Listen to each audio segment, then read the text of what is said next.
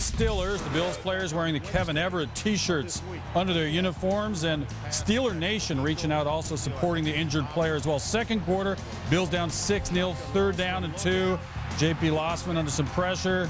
Big dog pile, threw it forward, ruled an incomplete pass.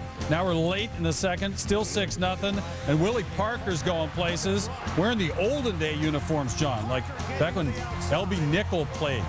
That would lead to a Jeff Reed field goal. Remember, Elbie Nickel still has led rookie card. 12 nothing. Losman now in some more trouble. This ball is not going to be ruled an incomplete pass. It's a fumble instead. Turnover on downs. No, it's not. They pick it up short of the first down is what happened there. Parker's going to town, leading the Steelers to their 500th ever regular season win. Bob Holtzman was at that game.